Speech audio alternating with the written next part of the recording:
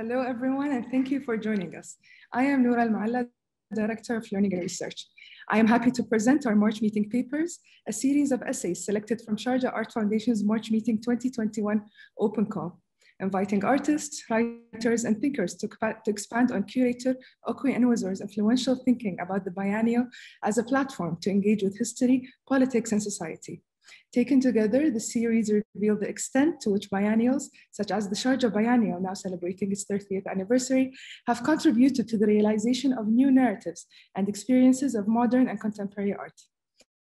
Our next presenter is Sadia Kamran, whose work examines the contemporary art of Pakistan within its socio-political as well as historical context, and traces the development of the same as a transforms from traditional to modern and contemporary practices. She is a professor and the coordinator of School of Art at the Institute of Art and Culture in Lahore. I would like to invite Sadia to present her paper. We will be taking questions from the audience in the last five minutes. Simultaneous translation to Arabic is available in the chat box on the right of the screen. Uh, thank you, Noura, for the kind introduction. And uh, I must admit that I'm quite excited. This is my first time at March meeting. And uh, I'm looking forward to much more meetings together in person uh, or virtual, whatever. I would also like to appreciate and acknowledge Sharjah Art Foundation, um, Hoor Al Qasimi, Vasan, Noura, Sana, and the team uh, who have pulled up a great show so far. I think I shall be moving towards my talk and share the screen now. Okay, um, so I guess you can all see the screen, right?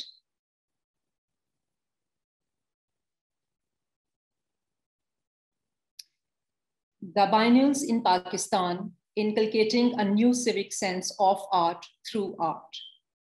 Towards the end of the 20th century, two popular political and religious dogmas, Islamization in Pakistani had a great impact on art in Pakistan. The field has been considered a Trojan horse in the hands of the progressives to infiltrate complexion of an Islamic state or a mere pastime of the elite who do not have to worry about the bread or butter on daily basis such ideas have turned art into a socially convoluted but politically relevant field in Pakistan. Moreover, the country's social stratification, whether economic, educational, or merely behavioral, has influenced the creation and reception of art here.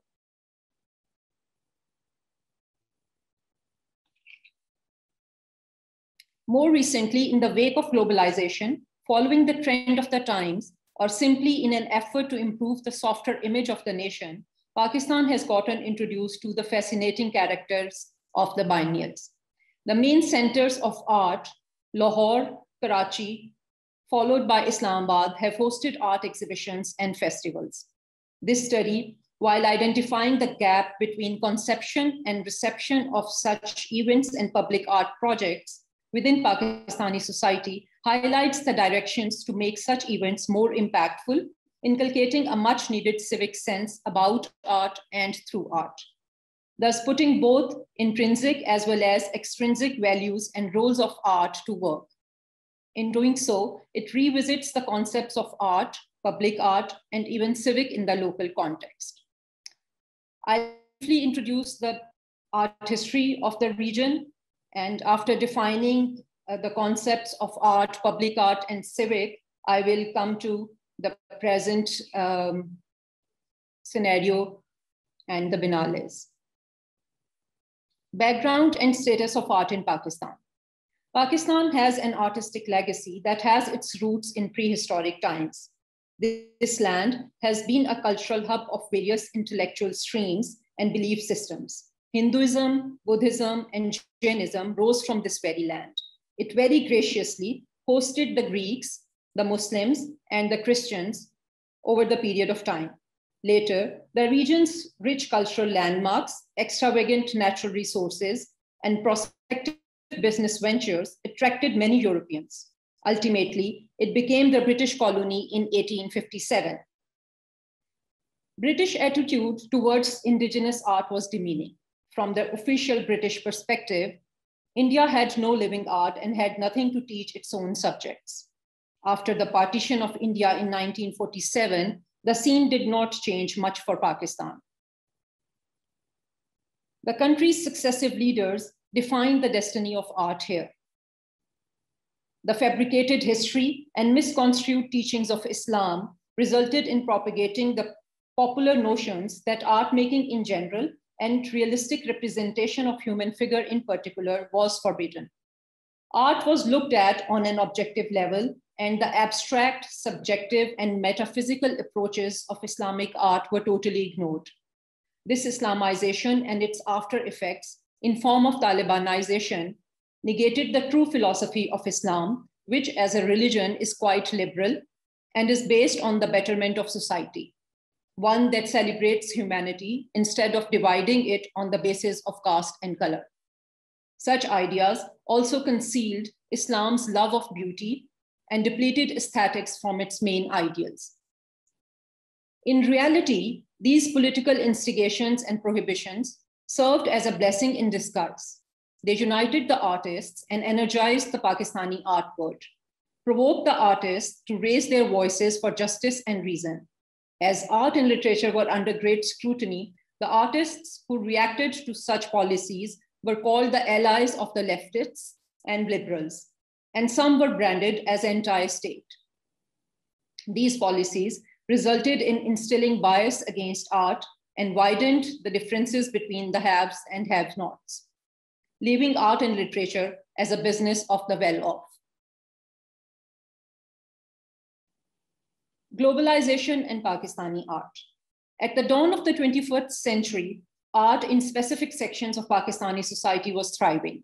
The politically motivated artists who had become empowered as an aftermath of direct or indirect socio-political expressions during the last quarter of the previous century paved way for both themselves and the following generation of artists to take up more intense issues. Identity, social stratification, gender and patriarchy, tolerance in for, and for religion, economy, and critique on the political system are some of the popular subjects in the art of the time.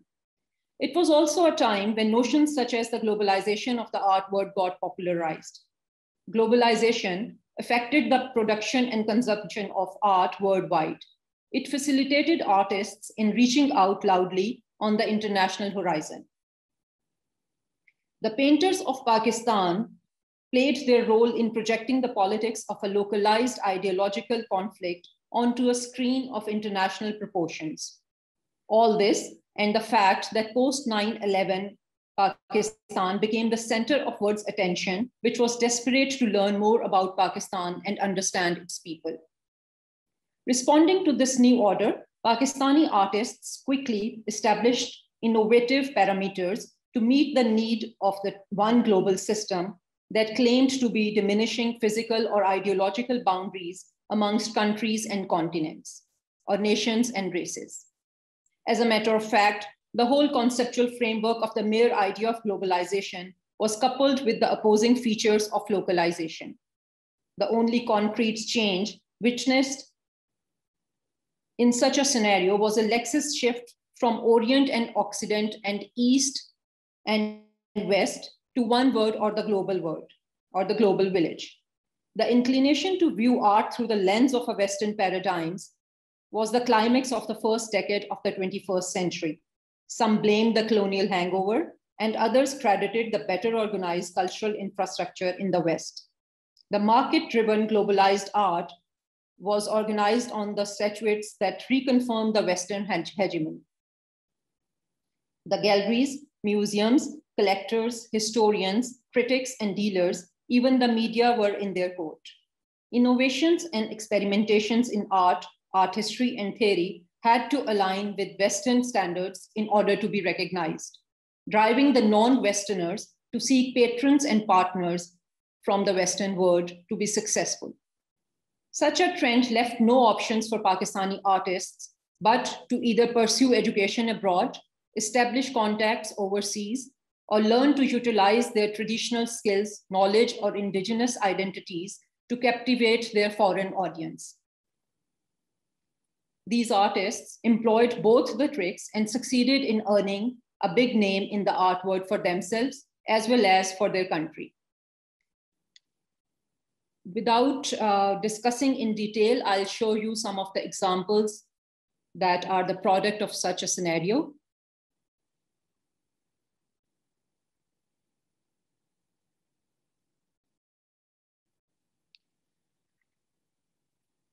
At the local level, wave of conceptual contemporary art in response to globalization was not welcomed by all. To some, such art essentially caters to political and economic instincts and leaves the traditional aesthetic concerns in art making as secondary or tertiary objectives, if not totally absent. Moreover, the idea of contemporary appeals mostly to those who have access to the global art scene However, there is now a reasonably big lot of practicing artists who still believe in traditional ways of thinking and practicing art. The use of technology in another feature of discrimination between these groups. Artists who were already disenfranchised from society for being anti-Islam or anti-state have been further divided into groups on the basis of their preferences of subject, medium, and acceptance of contemporary sensibilities of art. And here are some of the examples of um, the conventional art practices, which are very much alive in Pakistani contemporary art.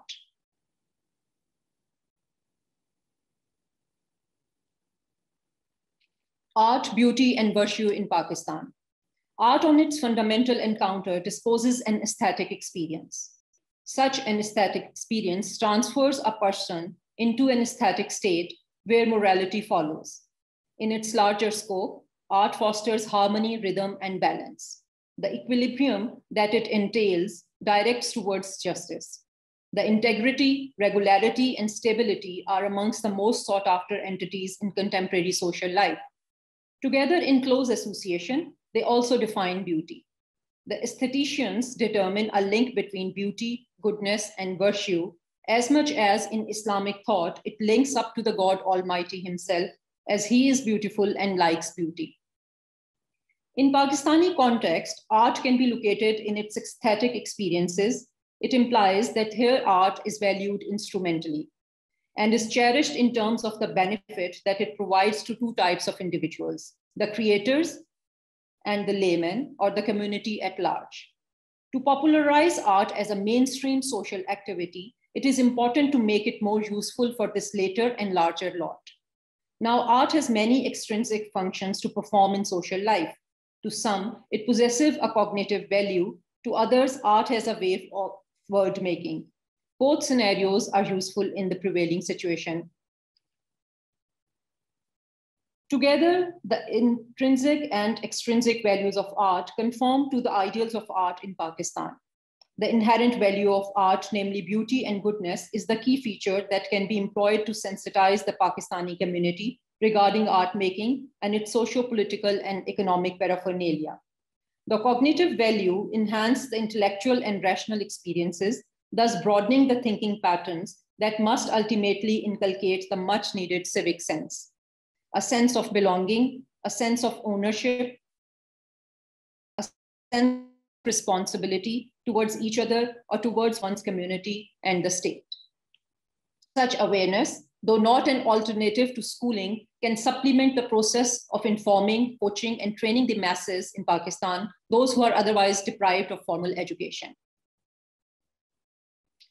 Biennials and public art in Pakistan. Biennials and art fairs are the latest trends in Pakistan. It is an effort on the part of the people to explore and define their culture and to own their cities.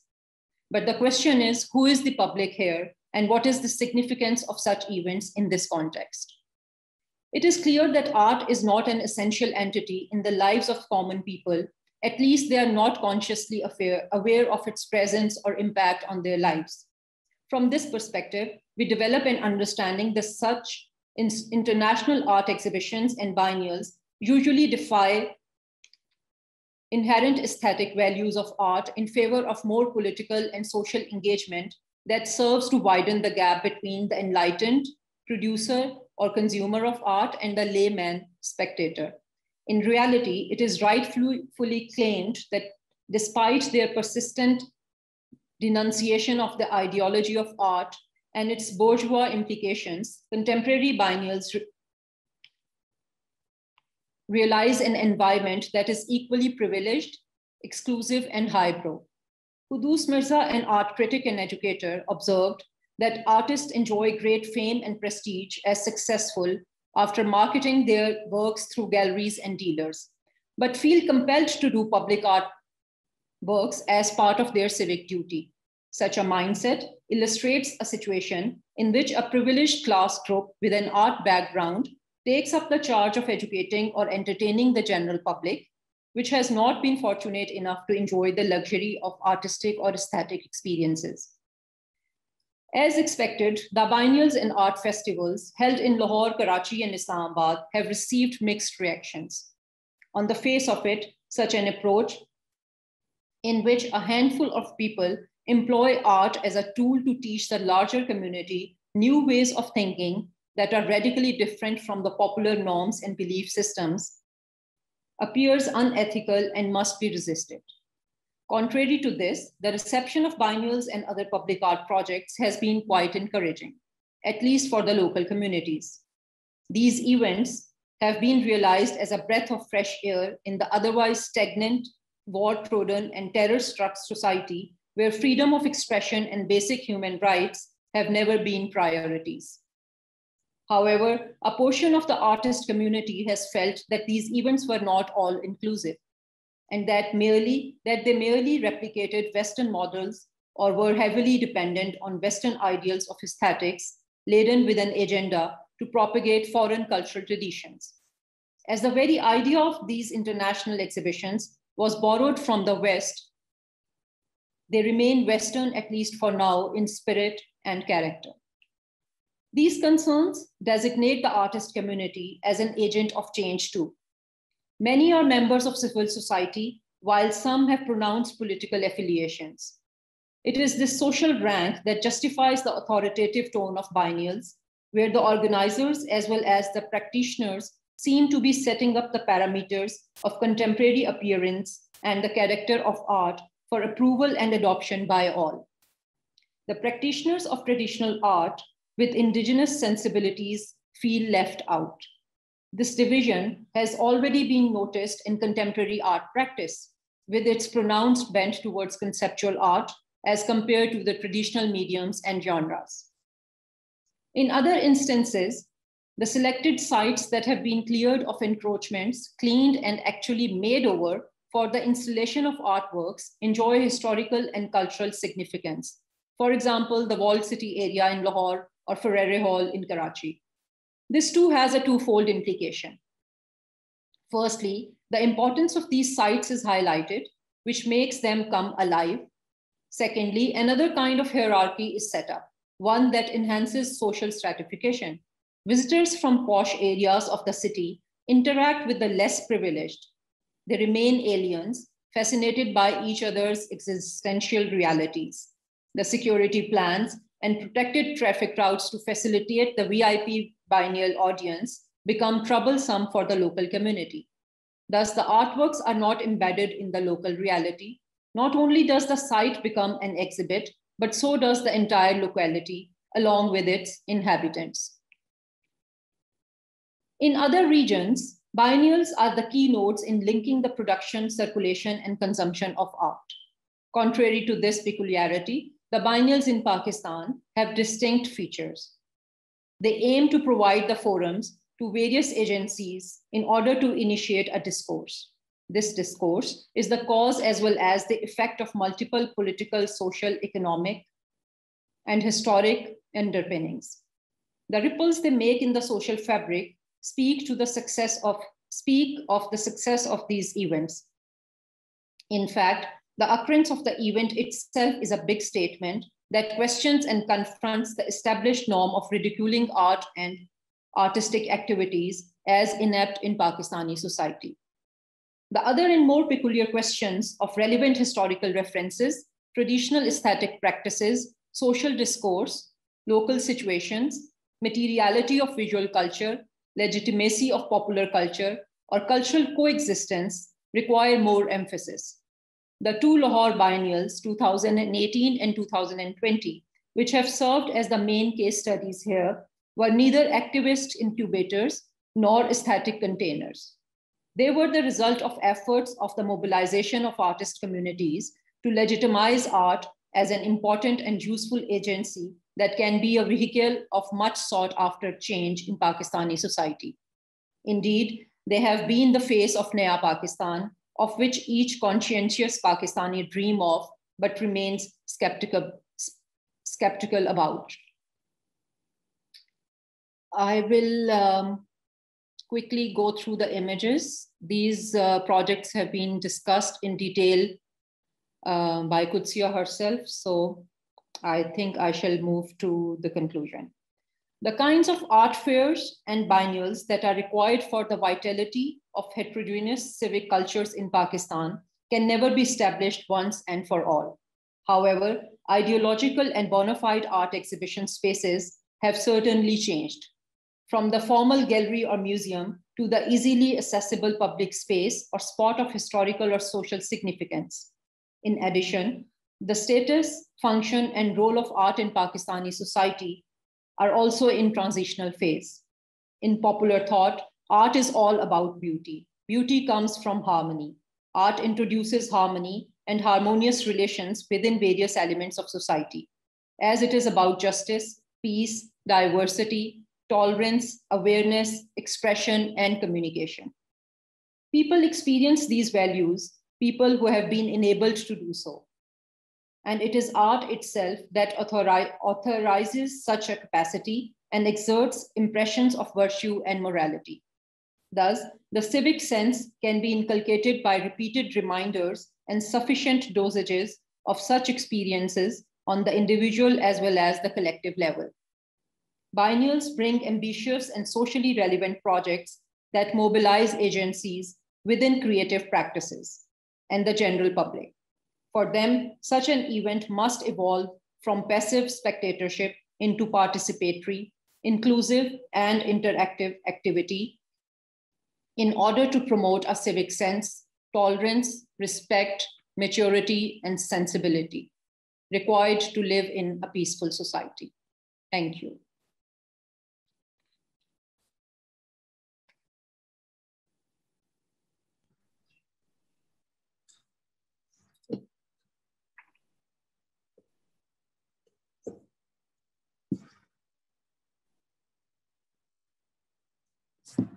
Thank you very much, Sadia.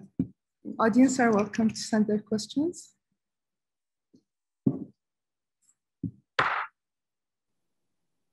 Okay, I have a question from the audience.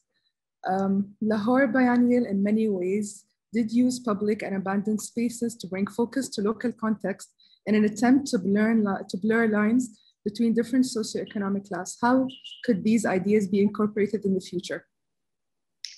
Well, I guess um, the uh, basic and the main achievement of Lahore Biennial is to sensitize the Pakistani society with the ideas of art making.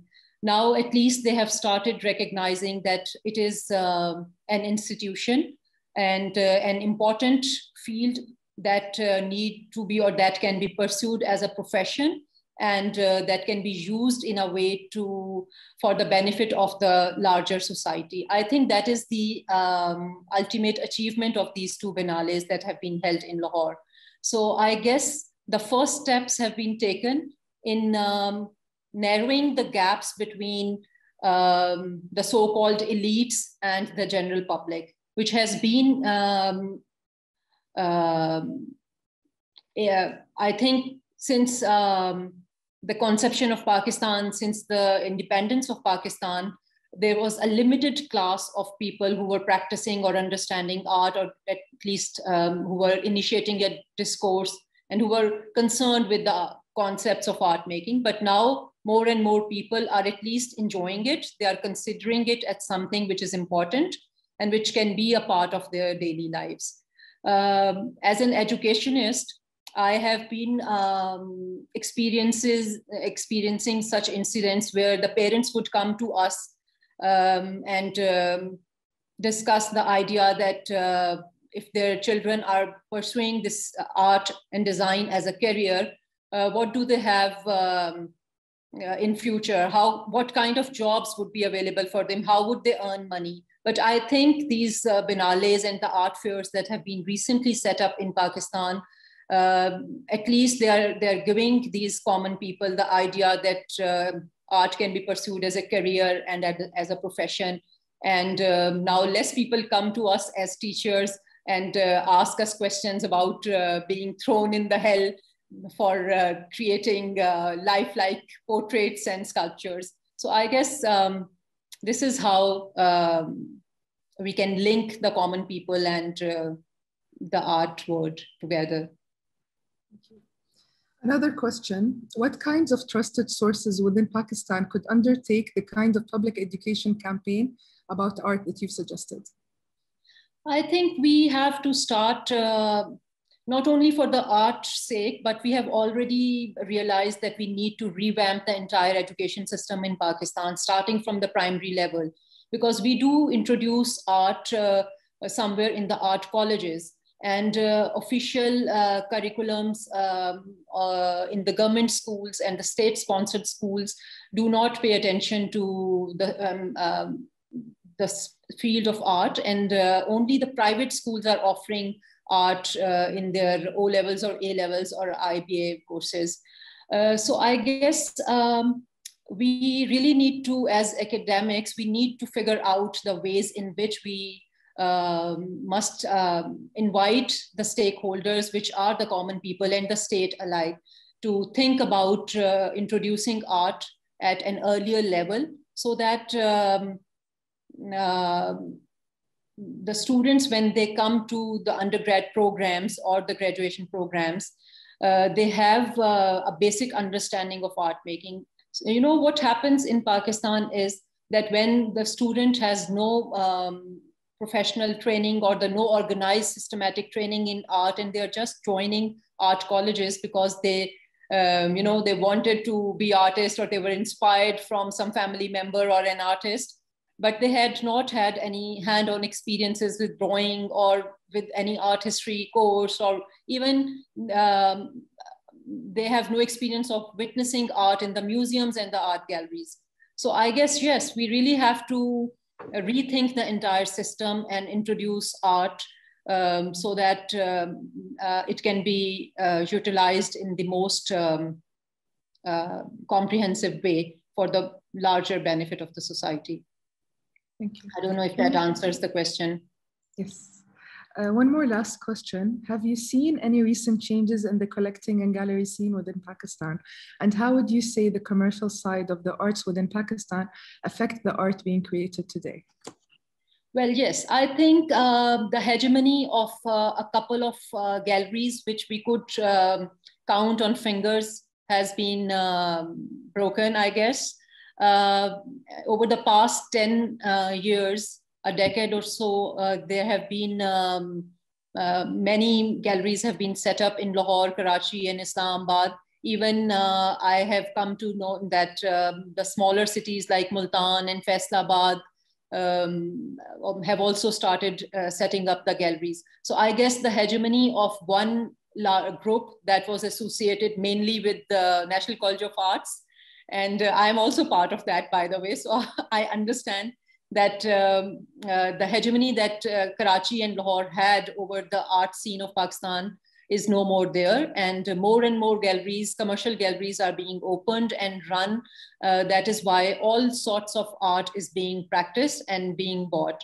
Uh, well it is not an ideal scene yet but i guess we have already set our directions towards um, the goal where uh, we will have uh, more spaces uh, and more opportunities for all kinds of uh, artists, not only people who have been to the so-called two big uh, institutions of art like NCA, BNU or Indus Valley, um, but for um, the larger lot of the artists who are practicing. And this is a strange reality that um, though we do say it again and again that art in Pakistan is the business of the elite, but uh, we all uh, experience um, students from um, the lower middle classes coming to the art colleges and performing very well. The only thing is that uh, they might not be that successful um, in terms of monetary values, but they keep on practicing art. And um, well, I guess that can be another um, subject of research that um, how they just, um, they have that passion and that energy that pushes them to practice art without realizing that it is not going to be the bread and butter provider for them. So I guess it is the hegemony is no more there. More and more galleries are uh, coming up, and um, it's a hopeful situation. Thank you very much, Sadia. Thank you.